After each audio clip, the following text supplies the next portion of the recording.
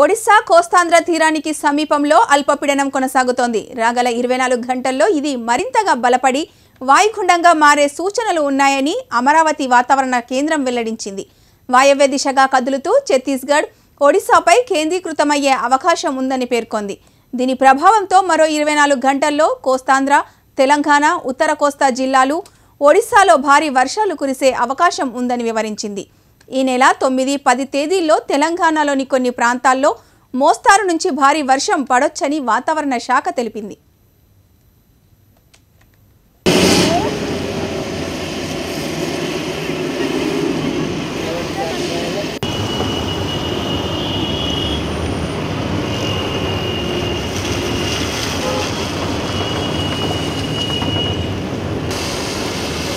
బండి